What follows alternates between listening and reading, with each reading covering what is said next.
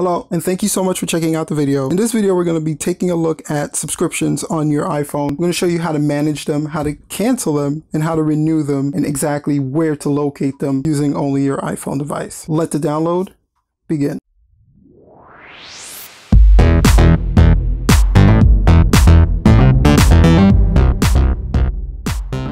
Now, if you're finding the channel for the first time, on this channel we do support videos centered around technology, teaching you how to use it, what it is, and how to troubleshoot some of the biggest issues you may face with it. If you enjoyed the video, go ahead and hit that subscribe button. It supports the channel and also share the content out. Not only does it support the channel, but it also ends up helping people fix problems that they have with their devices.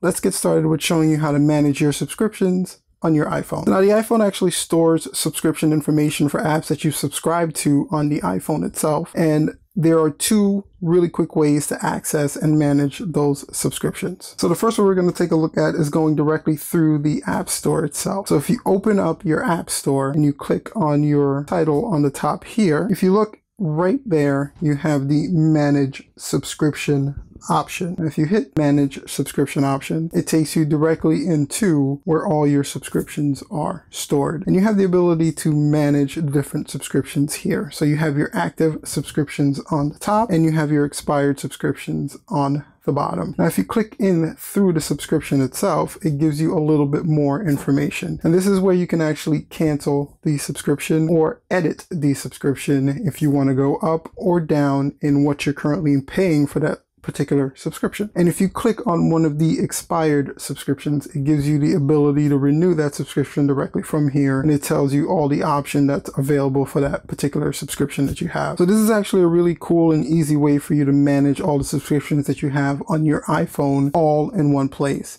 But this is not the only place that you can access it from. This is the newest place that you can access it from, but there is another way that you can get to it if this is not working for some reason or if you're not able to find it in this particular area. So the other way, it's a little bit more intensive, but if you go into your setting and at the top, you have your Apple information similar to in the App Store. Then once you're in this particular screen, you're going to click iTunes and App Store and then click on your Apple ID at the top. And then you're going to click View Apple ID. Now it's going to ask for your password or it'll just take a face ID shot, enter that information in. Now once you're in the screen, you're going to have the subscription option here. Now in some older iOS devices, you may have to scroll all the way to the bottom to manage your subscriptions. And this one is right here. You would click the button. And this is just a long roundabout way of bringing you to the same screen that you saw before, where you're able to manage your active subscriptions and your expired subscriptions. So this is a really cool way for you to keep an eye on the subscriptions that you have through Apple. That way you can cancel them, renew them, or just check to see if they're expiring at any time. Now bear in mind that these are only subscriptions that you've made through your iPhone. So you may not not see like your Netflix or your Hulu subscriptions here if they're not added through your iPhone or Apple itself. Those are going to be independent. These are strictly for subscriptions made through your iPhone.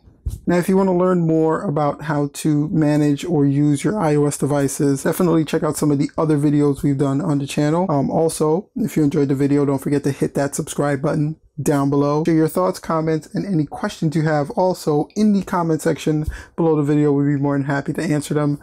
Until next time, guys. Peace.